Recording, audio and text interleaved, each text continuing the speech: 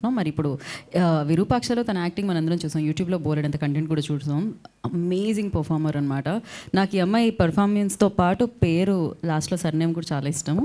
అక్కడ సోనియా సింగ్ ఇక్కడ Gita Bhagat Singh. So yeah Sonia Singh will speak now. No I won't sing ఈ ఒక్క పంచుతో రెండు జోబుల్లో చేతులు పెట్టుకొని.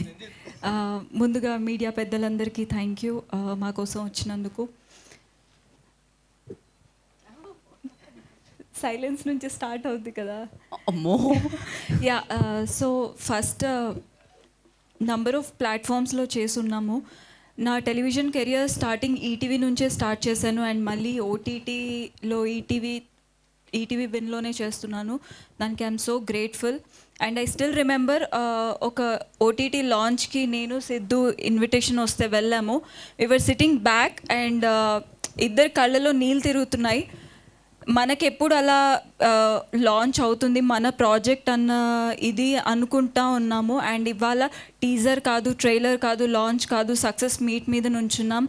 And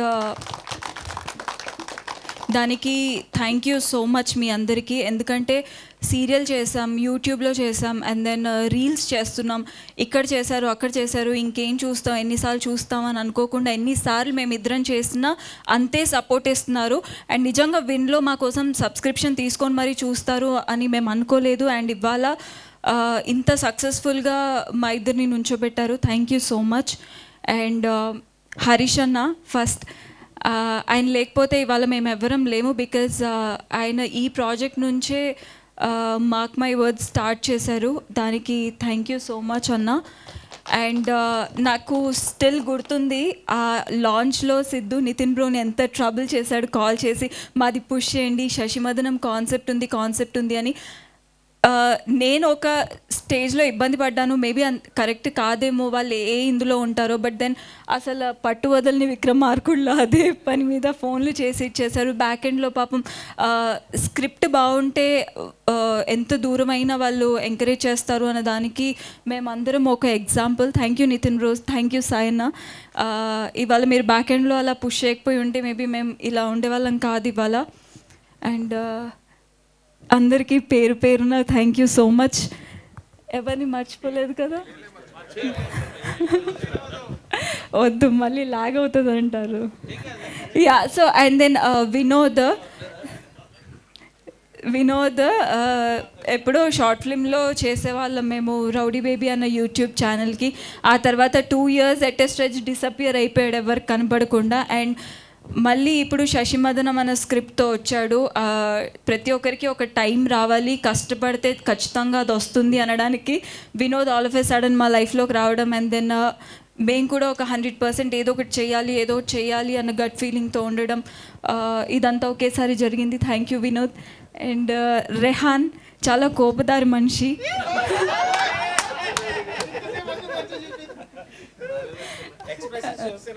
Yeah but then hundred percent efforts పెడతాడు. రెహాన్ ఎంతైతే తను స్టిల్ ఎప్పుడైనా ఇంటికి వచ్చినా సరే టెలివిజన్ ముందు ఫ్రేమ్స్ కానీ కెమెరా ఎలా ఆపరేట్ చేయాలి ఏం చేయాలి లైటింగ్ ఇవి అవి ట్వంటీ ఫోర్ బై సెవెన్ అలానే వర్క్ చేస్తూ ఉంటాడు.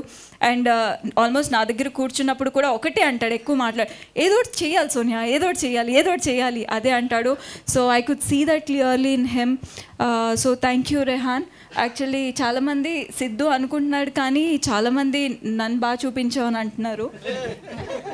అండ్ దెన్ uh, ఈ మా అందరి ఓన్ టాలెంట్ని ఎంకరేజ్ చేసిన ఈటీవీ విన్కి థ్యాంక్ యూ సో మచ్ నేను ఎప్పుడూ రుణపడి ఉంటాను.